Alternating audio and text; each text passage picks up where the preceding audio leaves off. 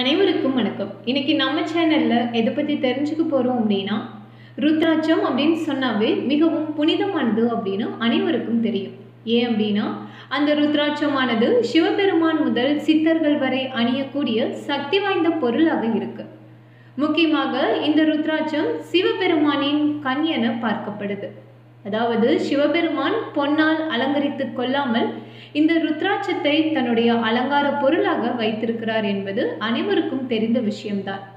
குறிப்பாக சிவபெருமான் இந்த ருத்ராட்சத்தை தன்னுடைய அலங்கார பொருளாக வைத்துள்ளார் அப்படின்னா அதனுடைய மகத்துவம் எப்படிப்பட்டதாக இருக்கும்? மேலும் அந்த ருத்ராட்சத்தை அணிவதால் நமக்கு ஏற்படக்கூடிய பலன்கள் என்ன? அது மட்டும் இல்லாமல் நம்முடைய உடல் மற்றும் மனதில் எப்படிப்பட்ட மாற்றங்கள் ஏற்படும் என்பதை பற்றிய முழுமையான தகவல்களை தான் இந்த வீடியோ மூலமாக தெரிஞ்சுக்க போகிறோம் இந்த வீடியோ ரொம்பவே சுவாரஸ்யமாக இருக்கும். ஸோ வீடியோவை ஸ்கிப் பண்ணாமல் கடைசி வரைக்கும் பாருங்கள் அதுக்கு முன்னாடி நீங்கள் இன்னும் நம்ம தமிழ் பேசி சேனலை சப்ஸ்கிரைப் பண்ணலை அப்படின்னா மறக்காமல் பண்ணிக்கோங்க வியூவர்ஸ் வீடியோக்குள்ளே போகலாம்.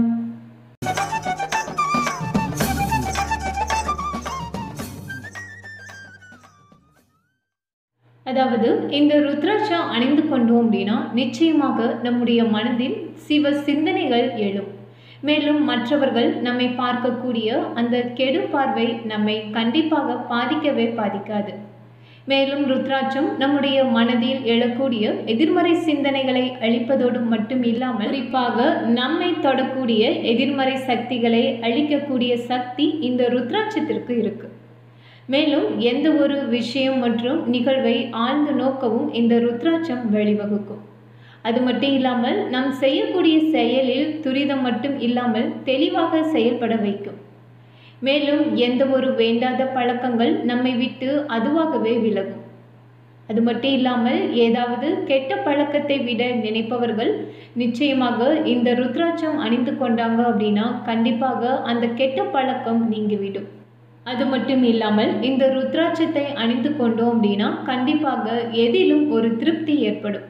மேலும் நம்மிடம் இருக்கக்கூடிய கெட்ட விஷயங்களை நீக்குவதோடு மட்டும் இல்லாமல் நம்மை மேன்மையடைய வைக்கக்கூடிய நல்ல உணர்வு அதிகரிக்கும்.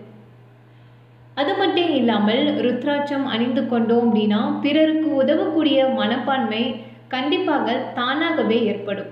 முக்கியமாக ருத்ராட்சம் அணிந்தால் நமக்கு ஏதாவது துன்பம் வந்தது அப்படின்னா அதை உடனடியாக சமாளிக்கவும் போக்கவும் நமக்கு வழி கிடைக்கும். அது மட்டும் இல்லாமல் எந்த ஒரு துன்பம் வரப்போகிறது என்பதை முன்னரே உணர்ந்து கொள்ளக்கூடிய ஆற்றல் அனைவருக்கும் கிடைக்கும். மேலும் துன்பத்தை உணர்வதோடு மட்டும் இல்லாமல் துன்பம் வர காரணமானவற்றையும் உணரக்கூடிய அற்புத பலன் இந்த ருத்ராட்சத்திற்கு இருக்குது முக்கியமாக இந்த உலகத்திலேயே தீட்டான இடம் அப்படின்னு சொன்னால் கண்டிப்பாக நம்முடைய சிவபெருமான் இருக்கக்கூடிய அந்த சுடுகாடு அப்படின்னே சொல்லலாம். அதனால் ருத்ராட்சமணிய எந்த ஒரு தீட்டும் கிடையாது. மேலும் சிவபெருமான் எந்த ஒரு பேதமும் அற்றவர் என்பதால ஆண் பெண் திருநங்கை என யார் வேண்டுமானாலும் இந்த ருத்ராட்சத்தை அணிந்து கொள்ளலாம். இதைத் தொடர்ந்து ருத்ராட்சம் அணிந்தால் என்னென்ன பயன்கள் கிடைக்கும் என்பதை பற்றி தெரிந்து கொள்ளலாம். அதாவது ருத்ராட்சத்தை அணிந்தால் பல நன்மைகள் கிடைக்கும் என்பதை அனைவரும் படிச்சிருப்பீங்க. ஆனால் அதை அணிவதன் மூலமும் அதை ஆராதிப்பதன் மூலமும் பல நன்மை நடப்பதை நீங்களே உணர முடியும். இதையடுத்து இந்த ருத்ராட்சத்தை பற்றிய அறிவியல் உண்மை என்ன அப்படின்னா இந்த ருத்ராட்சம் சித்தர்கள் கண்டறிந்த ஒரு மகத்தான மூலிகையாக பார்க்கப்படுது. மேலும் இது நம்முடைய உடலோடு ஒட்டி இருக்கக்கூடிய கிருமிகளை அழித்து குறிப்பாக சர்க்கரை நோய் புற்றுநோய் இது போன்ற பலவித நோய்களிலிருந்து நம்மை காக்கக்கூடியது. மேலும் இந்த ருத்ராட்சத்தை அணிந்து கொண்டோம் அப்படின்னா நம்முடைய உடலுக்கான நோய் எதிர்ப்பு சக்தியை கொடுப்பதோடு மட்டும் இல்லாமல் நம்முடைய உள்ளத்திற்கான மன தைரியத்தையும் கொடுக்கக்கூடியது. மேலும் நம்மிடம் இருக்கக்கூடிய எதிர்மறை சக்திகளை அழிக்கக்கூடியது அப்படின்னு சொல்லப்படுது. மேலும் நாம் ருத்ராட்சத்தை அணிந்திருந்தோம் அப்படின்னா ஏதாவது ஒரு செயல் தொடங்கும் போதே அது வெற்றி அடையுமா இல்லையா என்பது நம்முடைய மனதிற்கு தெரிந்துவிடும். அதை தெரிவிக்க இந்த வல்லமை சக்தியை கொடுக்கக்கூடிய இந்த ருத்ராட்சத்தை அணிந்து கொள்ளலாம். இதை அடுத்து இந்த ருத்ராட்சத்தை யாரெல்லாம் அணியலாம் என்பதை பற்றி தெரிந்து கொள்ளலாம். அதாவது பல அற்புதங்களை கொண்ட இந்த ருத்ராட்சத்தை யார் வேண்டுமானாலும் அணியலாம். சிறு குழந்தைகள் முதல் ருத்ராட்சத்தை அணிந்து வர அவர்களின் கல்வியில் பல முன்னேற்றத்தை காண முடியும். மேலும் படிப்புக்கு தேவையான மனதை ஒருநிலைப்படுத்தக்கூடிய சக்தி இந்த ருத்ராட்சத்திற்கு இருக்கு. அதோடு மட்டும் இல்லாமல் ஞாபக சக்தியை தரக்கூடியது. மேலும் ஆண்கள் மற்றும் பெண்கள் என யாராக இருந்தாலும் இந்த ருத்ராட்சத்தை அணிந்து கொள்ளலாம். முக்கியமாக இந்த ருத்ராட்சத்தை அணிந்து கொண்டோம் அப்படின்னா நமக்கு மன தூய்மை கிடைக்கும். மேலும் எந்த ஒரு செயலை செய்வதற்குமான தெளிவும் ஆற்றலும் கொடுக்கக்கூடியது. குறிப்பாக நம்முடைய உடல் ஆரோக்கியத்தை தரக்கூடியதாக இந்த ருத்ராட்சம் இருக்குது இதைத் தொடர்ந்து ருத்ராட்சத்தை பராமரிக்கும் முறைகள் மற்றும் எப்படி அணிவது யார் அணிவிப்பது என்பதை பற்றி தெரிந்து கொள்ளலாம். இந்த ருத்ராட்சம் அப்படின்னு சொன்னாவே அது ஒரு குரு அப்படின்னு சொல்றாங்க. அதாவது நமக்கான வழிகாட்டுதலை தருவதால நாம் கருப்பு நிற கயிறில் கோர்க்கப்பட்ட ருத்ராட்சத்தை குருவிடம் கொடுத்து அணிந்து கொள்ள வேண்டும். அப்படி இல்லைன்னா நாமளே ஓம் நம சிவாயா என்ற மந்திரத்தை உச்சரித்து அணிந்து கொள்ளலாம். மேலும் இந்த ருத்ராட்சத்தை அணிந்து கொண்டு குளிப்பதால் அதில் பட்டு நம்முடைய உடலில் படக்கூடிய தண்ணியானது அந்த கங்கை நீருக்கு ஈடாக பார்க்கப்படுது. மேலும் கங்கையில் நீராடிய புண்ணியமும் கிடைக்கும். மேலும் இந்த ருத்ராட்சத்தை அணிந்திருந்தோம் அப்படின்னா அதை இரவு நேரம் நாம் கலற்றி வைக்க வேண்டும். அதன் பிறகு காலையில் குளித்து இறை வழிபாடு செய்து கொண்ட பிறகு அணிந்து கொள்ளலாம். மேலும் பல காரணங்களுக்காக நாம் ருத்ராட்சத்தை கலற்று நேர வாய்ப்புகள் இருக்கு. ஆனால் அதை அணிந்து கொண்டிருப்பதே சிறப்பு அப்படின்னு சொல்றாங்க.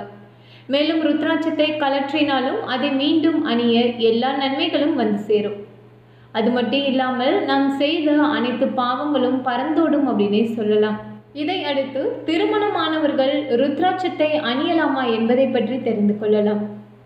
குறிப்பாக தெய்வீக சக்திகள் கொண்ட இந்த ருத்ராட்சத்தை திருமணம் ஆனவர்களும் அணிந்து பயன்பெறலாம். அதாவது முந்தைய காலகட்டத்தில் சைவ சமயம் வைணவ சமயம் மற்றும் சமணர்களுக்கு இடையே பல பிரச்சனைகள் இருந்திருக்கு.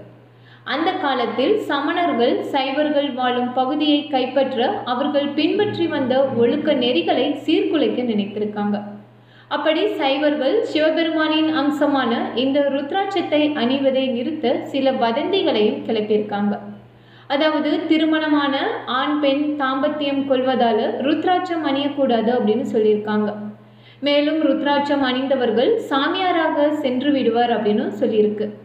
அந்த அடிப்படையில் இயற்கையாக நடக்கக்கூடிய எந்த நிகழ்வின் போதும் நாம் ருத்ராட்சம் அணிந்திருப்பது எந்த ஒரு தவறுமே கிடையாது. மேலும் சிவாலயங்களில் தினமும் பள்ளி எழுச்சி நடப்பதை பார்த்திருப்போம். அதாவது இரவில் சிவனும் அம்பாலும் ஒரே ஊஞ்சலில் ஒன்றாக இருப்பதை பார்க்க முடியும். அதன் பிறகு மீண்டும் காலையில் சிவனையும் அம்பாளையும் அவரவர் இடத்திற்கு கொண்டு சென்று வைத்து விடுவாங்க. அதன் காரணம் சிவனும் அம்பாலும் சேர்ந்து இருப்பதாக அர்த்தமாக இருக்கு.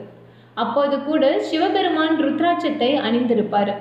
அதனால நாமும் இரவில் அணிந்திருப்பது எந்த ஒரு தவறுமே கிடையாது. குறிப்பாக திருமணமானவர்கள் அணிந்திருந்தாலும் எந்த ஒரு தவறுமே இல்லை. முக்கியமாக ருத்ராட்சம் அணிந்த அந்த இறைவனே குடும்பமாக இருக்கும்போது நாம் திருமணமானவர்கள் ருத்ராட்சம் அணியலாமா என்ற கேள்வி கேட்பது ஒரு அர்த்தமற்ற கேள்வி அப்படின்னே சொல்கிறாங்க மேலும் ருத்ராட்சம் அணிபவர்கள் சுத்தமாக இருக்க வேண்டும் மேலும் தினமும் குளிக்க வேண்டும். குறிப்பாக அசைவ உணவுகளை தவிர்க்க வேண்டும் மேலும் போதை வஸ்துக்களை பயன்படுத்தக்கூடாது. இது போன்ற சுத்தத்தை கடைபிடிப்பது மிகவும் அவசியமாக பார்க்கப்படுது. குறிப்பாக இல் வாழ்க்கைக்கும் ருத்ராட்சம் அணிவதற்கும் தொடர்பு கிடையாது. ருத்ராட்சம் அணிவதால் தீய எண்ணங்கள் திருஷ்டி மற்றும் வக்கிர பார்வைகள் நீங்கும் மேலும் நமக்கு தைரியம் பிறக்கும். இதனால் ஆண்கள் மட்டும் இல்லாமல் பெண்களும் அணிந்து கொள்வது தவறு கிடையாது.